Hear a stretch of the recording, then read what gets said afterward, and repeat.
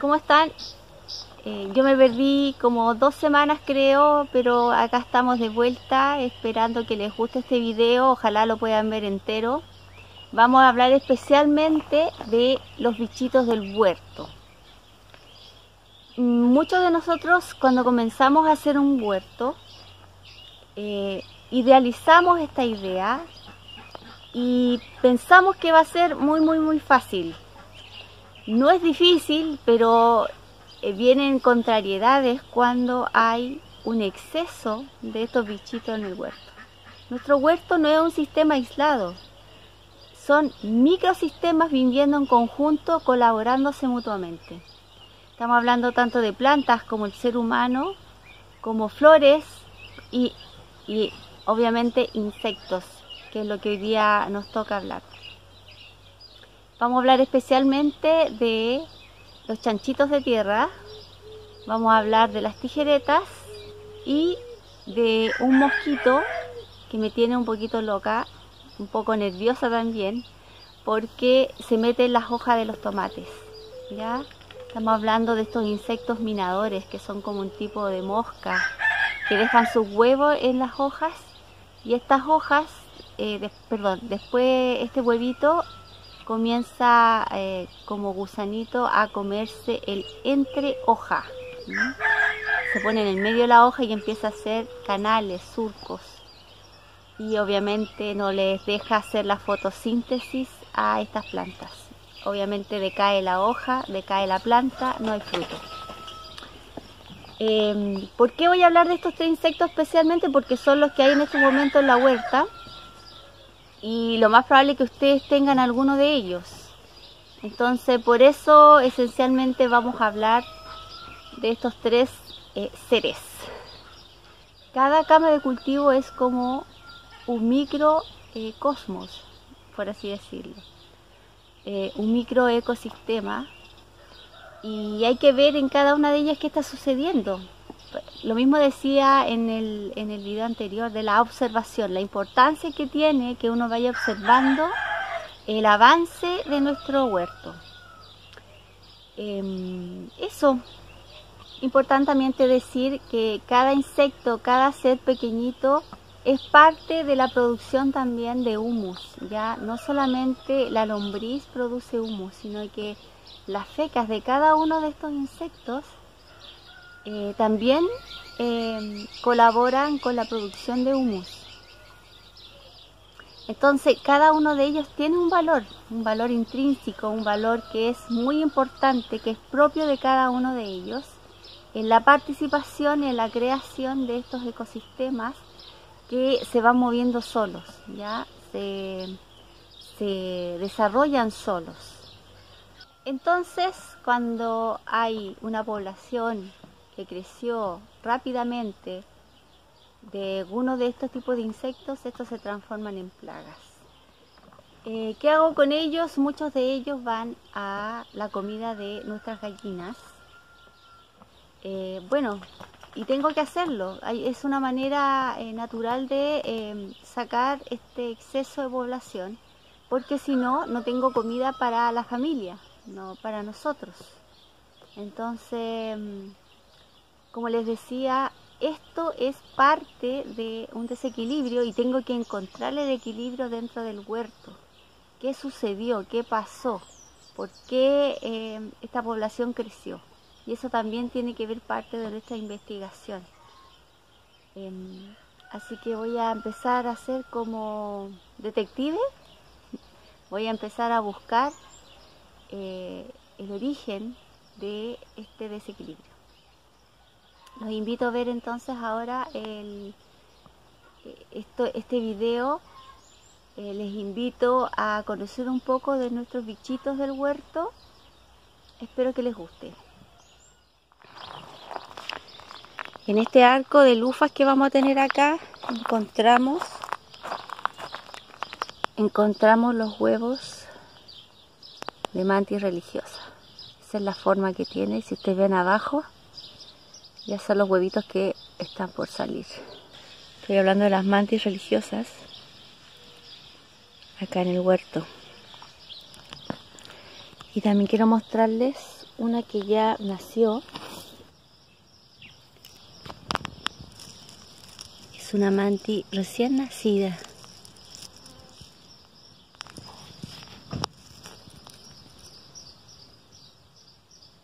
Que acaba de salir de ahí de, de sus huevitos. Hablando de insectos, yo hace ya como tres días que colocamos aquí las lufas y miren, crecida de todas me están comiendo los chanchitos de tierra y las eh, las tijeretas entonces vamos a hacer unas trampas ahora para eh, atraparlas y se las doy de comida a mis gallinas. Por el momento la estaba sacando a mano y de ahí se las doy directamente pero vamos a colocar trampas y voy a voy a decirles unas trampas que a nosotros nos dan resultados. Otra cosa que hay que identificar por ejemplo en estos zapallitos redondos si ustedes ven tiene una especie de baba un líquido brillante sobre sus hojas y eso significa que andan babosas o caracoles. Así que tienen que averiguar alrededor qué anda, observar y sacar lo que se está comiendo nuestros eh, vegetales. La idea es que yo me alimente de mi huerto, pero el problema está en que los bichitos también quieren alimentarse en nuestro huerto. Obviamente son parte de naturaleza, tienen que comer, no van a comer tallarines, pero recordemos que ellos pueden hacerlo, pero la idea es que no se convierta esto en plaga. Acabo de encontrar estos caracoles de 20 más que están acá y que están cerca del huerto, cerca de los zapallos, cerca de los pimentones. Entonces aquí encontramos quienes están comiendo los están comiendo la hortaliza.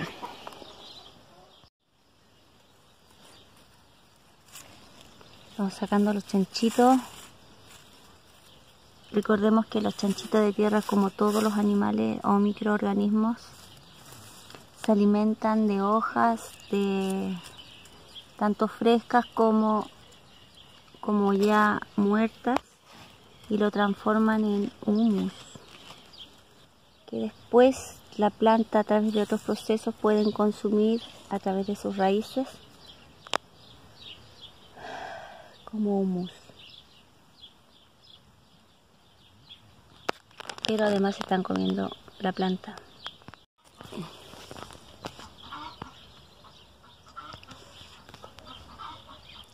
Quiero mostrarles este insecto que es una especie de mosquita muy muy pequeña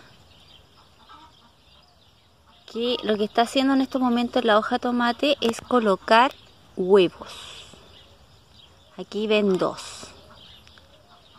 Y estas dos chiquillas, después de colocar sus huevitos, estos huevitos crecen como larva entre la hoja y comienzan a comerse la hoja, pero en medio de la hoja.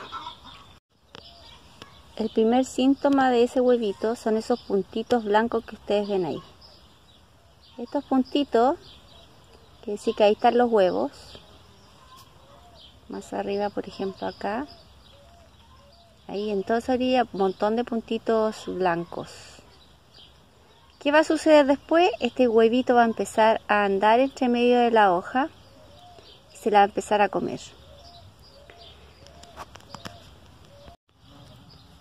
Y después pasa a esta forma si ustedes ven ahí todos esos como túneles que vemos ahí es ese pequeño huevo que después de comer, comer, comer, se convierte después en pupa, cae al suelo y después en el suelo se transforma en esa mosquita que, vimos delante. Ese es el proceso de este insecto. Miren esta. Hay que tener mucho, mucho... Em, Cuidado con este tipo de insecto. Ahora eh, vamos a usar eh, nuestro jabón potásico con aceite de neem. Vamos a regar nuestros tomates y zapallos porque encontramos entonces este gusanito minador, esta mosquita minadora en realidad, que deja su huevo y este huevito se convierte en este gusanito que va comiéndose las hojitas. Pero además encontramos mosca blanca, así que vamos a ver, hoy día vamos a colocar Mañana vamos a ver el resultado. Aquí está la mosquita, que esta es la hembra, la más grande. Y ella es la que coloca los huevos, ¿ya?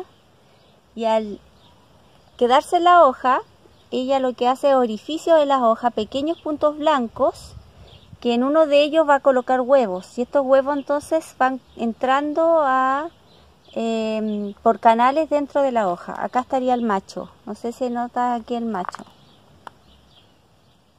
Que es mucho más pequeño. Vamos a echar entonces mil. La idea es por el en vez y al revés de la hoja.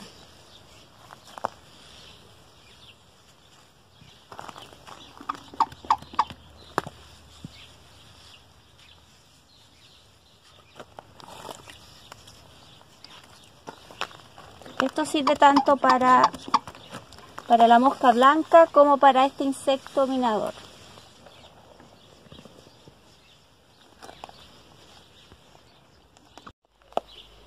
Ayer colocamos eh, jabón potásico con aceite de neem acá en, este, en estos zapallos camotes y estaban llenos de mosquita blanca. Solo al mover salían las mosquitas blancas. Pero ahora ustedes ven y no hay mosquita blanca.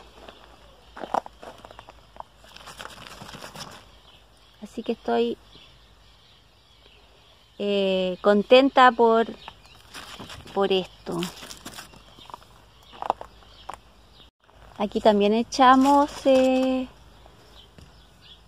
jabón potásico con eh, y también no aparece la mosquita blanca. Eh, esta este forma de, de controlar estas mosquitas, ojalá hacerlo tres días seguidos, ¿ya? Por ahí quedan algunas, pero bueno, no es tanto como ayer. Ayer había muchas. Y el problema está que ellas tienen dos ciclos, parece, en el año y van dejando sus huevitos en el revés de la hoja.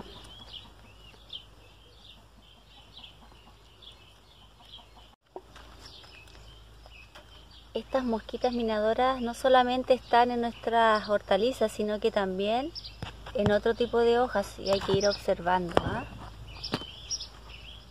Porque después lo que hace este bichito es terminar su ciclo y vuelve a aparecer y puede volver a atacar nuestro huerto.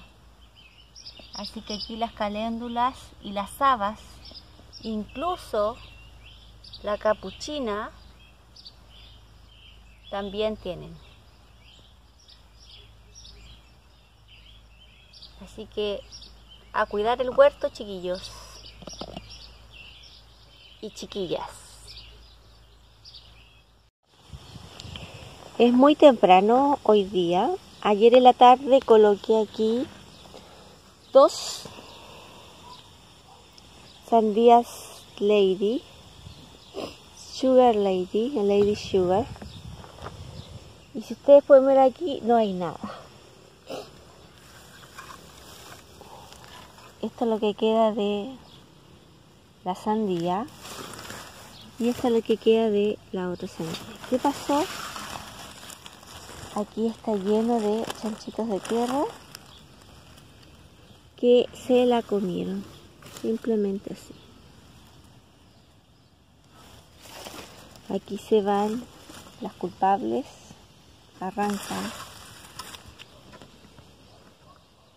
Entonces por eso les decía que hay que de vez en cuando hacer cosecha de insectos en las camas que uno va a trasplantar. Ver qué tipo de insectos aparecen, qué tipos de bichitos aparecen para prevenir.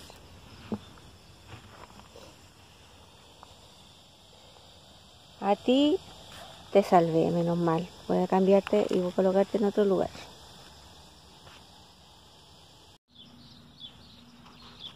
Entonces, hablando de bichitos, ¿qué tenemos acá nosotros?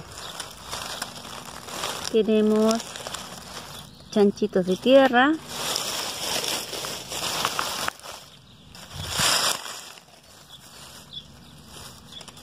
Tenemos babosa.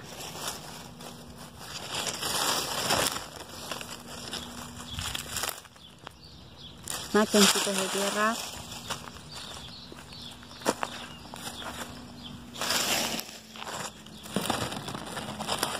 Tenemos esto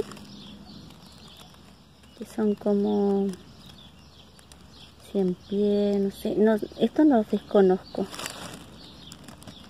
no sé qué son, pero sí lo he visto comiéndose la piel de los tallos de los tomates. Mire aquí hay mucho de esto, no me agrada para nada más famosas.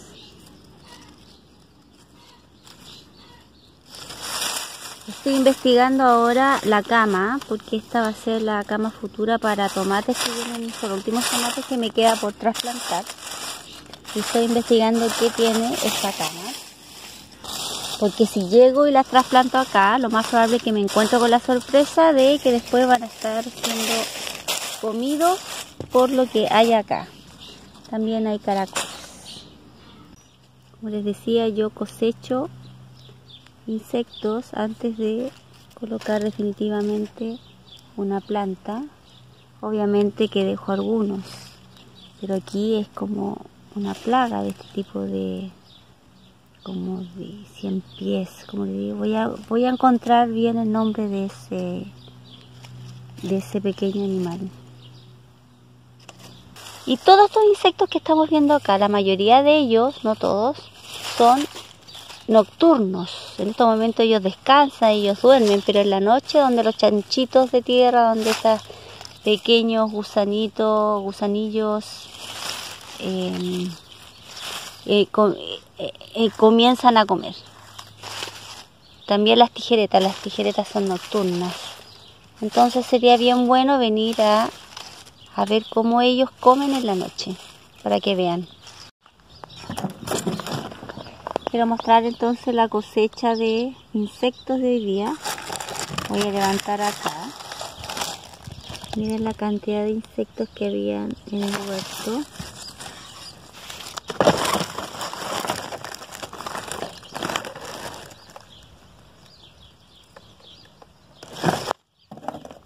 Una gran variedad de insectos.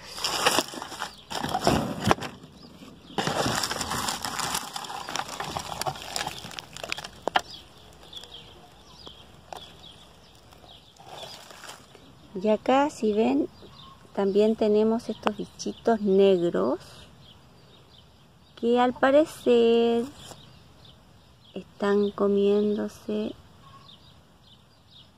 mis perritos. No sé qué son, voy a buscar qué nombre tienen, a qué se dedica el tiempo libre.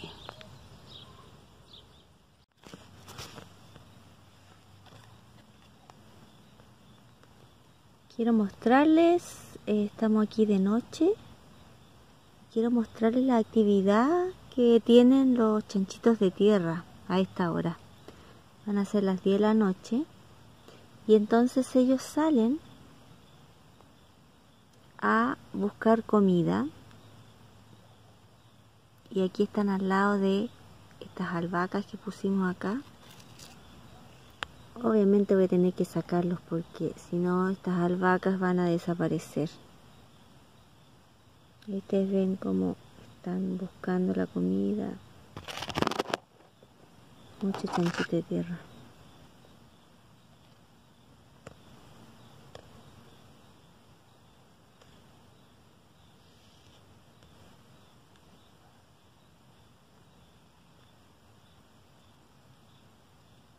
como aquí se están comiendo estas hojas de zapallo italiano.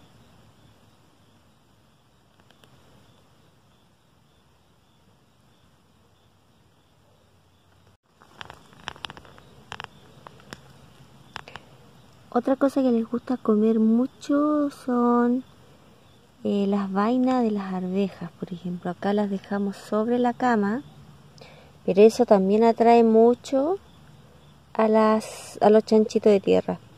Lo dejamos acá, estas vainas, porque queríamos hacer también como mulch. Pero veo que atrae demasiado, demasiado este bichito. Sin embargo, eh, pensándolo bien, esto puede servir como una trampa para atrapar chanchitos también de tierra. Las otras que deambulan en la noche son las tijeretas. Y bueno, aquí vemos cómo, cómo comen ellas. ¿ah? No es que mastiquen de hacia afuera hacia adentro, que puede suceder, pero si uno ve en sus hortalizas estos cortes internos dentro de la hoja, es porque es una tijereta.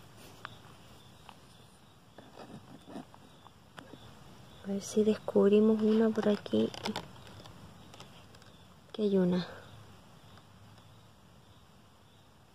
Acá hay otra señorita.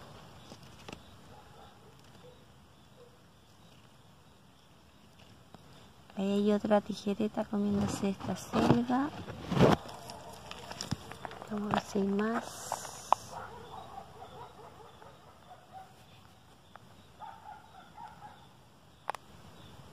También le gusta los tajetes.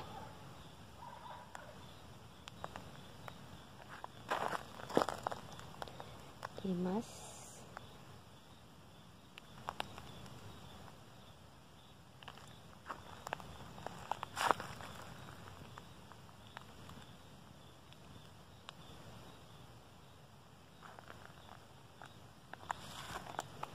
Y acá caracoles que también comen de noche y salen de noche. Hay unos caracoles pequeños.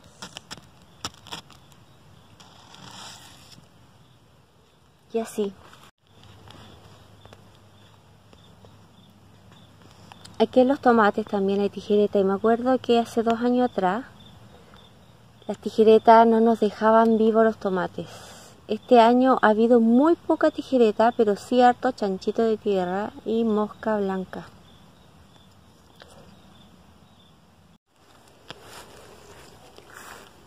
Me hacía la pregunta, ¿qué me estaba comiendo este limonero que tengo del frente de la casa? Y si se fijan, tijeretas.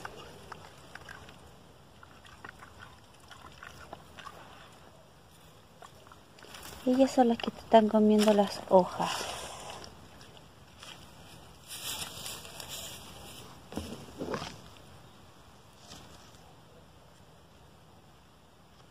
Tijeretas.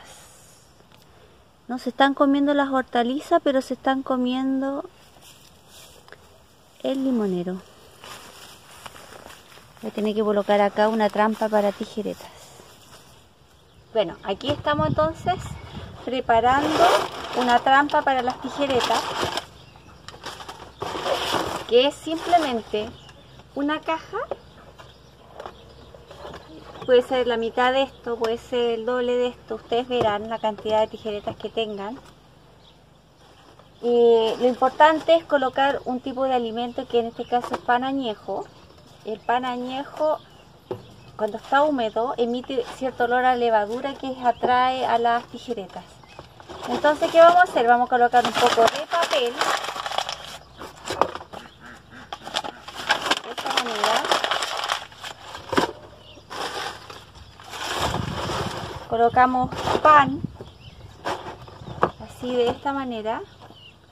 Regamos Humedecemos la caja, recuerden que ellas buscan lugares húmedos, no secos y oscuros.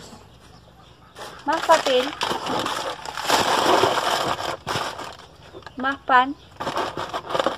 Humedecemos el pan, el papel, más papel. Después tapamos la caja, pero igual hagámosle una puerta. Esa es la puerta que yo le hago a, una caja. Y de esta manera, ustedes dejan esta abertura hacia abajo. en la tierra. Eso lo vamos a ver ahora.